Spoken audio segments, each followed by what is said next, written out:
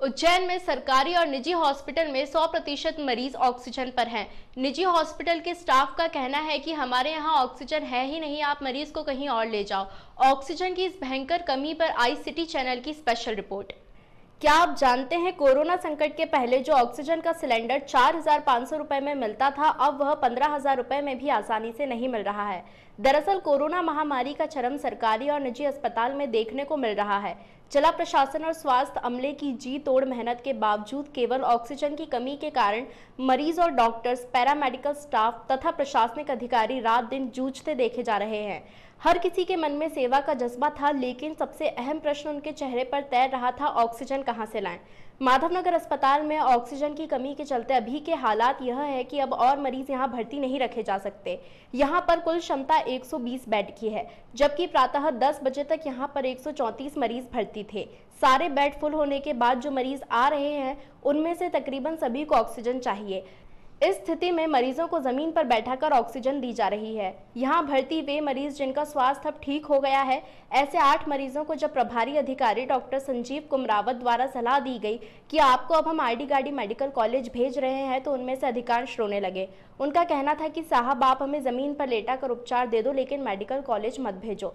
चाहो तो घर भेज दो। जब इस बारे में कलेक्टर आशीष सिंह को बताया गया तो उन्होंने संवेदना रखते हुए निर्देश दिए कि अलग से बेड लगाकर उपचार कर दो, वरना ये पूरी तरह से स्वस्थ होने की जगह डिप्रेशन में आ जाएँगे। इसके बाद उन्हें वहीं रखा गया और उपचार दिया जा रहा है। ओपीडी में लोग आ रहे हैं, पर्चा बनवा रहे हैं और कोरोना जाँच करवा रहे हैं। लेकिन आज सुबह से ऐसे लोग भी आए हैं जो यहाँ आकर गिर ही गए।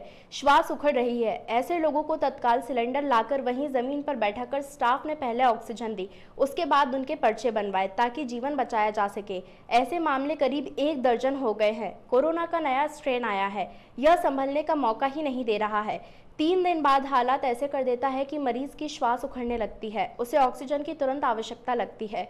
इस मामले में जितने भी केस आ रहे हैं, उन्हें ऑक्सीजन की ही डिमांड है। उन्होंने बताया कि लोग काफ़ी लापरवाही बरत रहे हैं। दो से तीन दिन तक जो जाँच करवाने नहीं जाते हैं, तब तक मरीज़ बीमारी की जद में आ जाता है। उसके बाद जब जाँच पॉजिटिव आती है, तब तक संक्रमण बढ़ जाता है और श्वास लेने में परेशानी होने लगती है। यही कारण है कि गंभीर रोगियों की संख्या तेज़ी से बढ़ी और ऑक्सीजन की मांग भी उतनी ही तेज़ी से बढ़ी, जिसे एकदम से पूरा कर पाना संभव नहीं है। कलेक्टर लगातार कोशिशें कर रहे हैं। चरक हॉस्पिटल में ऑक्सीजन सप्लाई प्रभारी नरेंद्र शर्मा के अनुसार ऑक्सीजन का इंतज़ाम गुजरात पीथमपुर नागदा ताजपुर से किया जा रहा है। उन्होंने बताया कि 40 सिलेंडर ऑक्सीजन गैस मात्र दो घंटे में समाप्त हो रही है। इसके कारण मरीजों को हाई फ्लो पर ऑक्सीजन देना है। एक्चुअली सबसे पहले तो मरीजों की संख्या बढ़ती जा रही है। हम्म। उनको फिर दी जाने वाले हाई फ्लो गैस ऑक्सीजन। जो कि डब्ल्यू के मापदंड के द्वारा अगर दी जाए हम्म। तो ज़्यादा बेटर रहेगा। हम्म।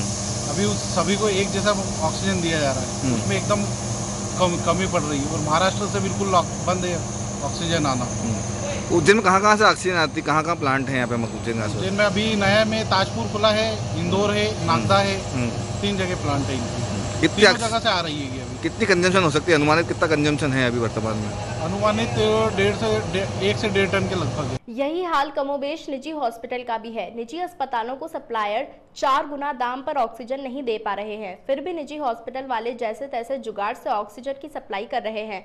जहाँ से भी उनको ऑक्सीजन होने की सूचना मिलती है ताबड़तोड़ गाड़ियाँ भेजकर कई गुना ज़्यादा दाम पर भी ऑक्सीजन लाकर मरीजों को दी जा रही है। जेके हॉस्पिटल संचालिका डॉक्टर जया मिश्रा के अनुसार ऑक्सीजन की स्थिति कंट्रोल से बाहर हो गई है। ऐसा उन्होंने अपने करियर में कभी नहीं देखा कि ऑक्सीजन के लिए इतनी मारामारी करना पड़ रही है।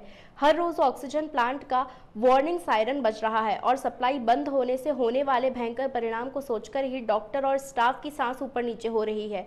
इतनी घबराहट उन्होंने कभी महसूस नहीं की। अचानक ऑक्सीजन की कमी पूरे उज्जैन में जिस तरह से हो रही है, उसको बताना मुश्किल है। हर हर हॉस्पिटल में कोरोना के पेशेंट्स बहुत ज़्यादा हैं और काफ़ी मात्रा में ऑक्सीजन की रिक्वायरमेंट बढ़ चुकी है। जिस तरह से ऑक्सीजन की कमी को कल हम लोगों ने फेस किया, वो वर्णन करना बहुत ही कठिन है शब्दों में। इतना डर, इतनी सिहरन मुझे अपने जीवन में पहली बार महसूस हुई। अस्पताल का मैनेजमेंट हमारे स्टाफ के सारे सदस्य पूरी रात, पूरा दिन प्रयास कर करके कहीं से भी ऑक्सीजन लाने की कोशिश लगातार कर रहे हैं। और ऐसा लग रहा था कि 30 मिनट में ऑक्सीजन हमारी ख़त्म होने वाली थी। ऐसा लग रहा था कि अगर ऑक्सीजन नहीं मिली तो कई पेशेंट की ज़िंदगियाँ हम लोग देखते देखते बचा नहीं पाएँगे। ये डर ये जो महसूस मैंने उस पल में किया है ये ज़िंदगी में आज तक मैंने कभी भी महसूस नहीं किया। ऑक्सीजन और रेमडेसिविर इंजेक्शन की कमी को देखते हुए सिटी चैनल अपने सभी दर्शकों से निवेदन करता है कि कोरोना काल में सोशल डिस्टेंसिंग का पालन करें, मास्क लगाएँ और अपने और अपने परिजनों की जान बचाएँ। सिटी चैनल के लिए पुष्करण दुबे की विशेष रिपोर्ट।